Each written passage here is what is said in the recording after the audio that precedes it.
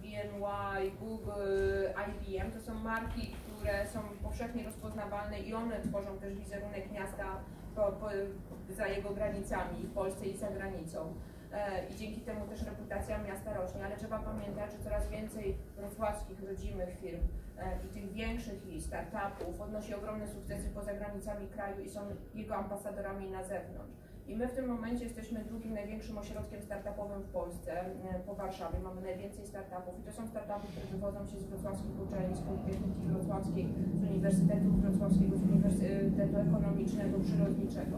To są firmy, które odnoszą sukcesy w Dolinie Krzemowej, zatrudniają międzynarodowych ekspertów i wydaje nam się, że to jest, na to powinniśmy kłaść ogromny nacisk, aby e, jeszcze bardziej internacjonalizować przemysł i gospodarkę, która tutaj jest. Też wiązać produkcję z tymi technologiami. To jest.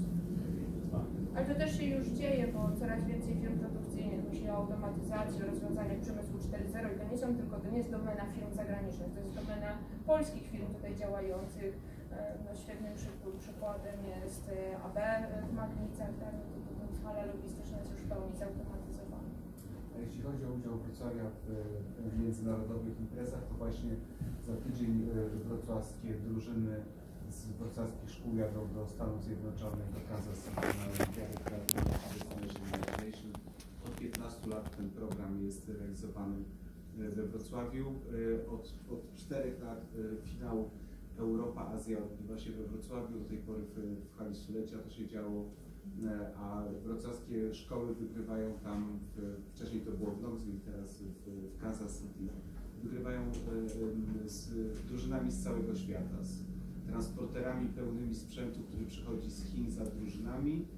E, Nasze dzieci z walizkami, które się mieszczą w, zaledwie w bagażu podręcznym, wygrywają tam pierwsze miejsca na tej Światowej Olimpiadzie Kreatywności. To jest, e, o tym du- dużo mówimy w okolicach tego wydarzenia, ale myślę, że że to jest na tyle e, fantastyczne przedsięwzięcie, że jeszcze ciągle za mało rozreklamowane. I tutaj też być może część z Państwa o tym wie, bo wrocławskie szkoły zwracają się do różnych wrocławskich przedsiębiorców z prośbą o wsparcie w całym tym programie, czy potem w organizacji tego wyjazdu. No, my oczywiście go finansujemy, ale nie w 100%. To jest bardzo ważne międzynarodowe wydarzenie, na którym Wrocław się promuje i wygrywa.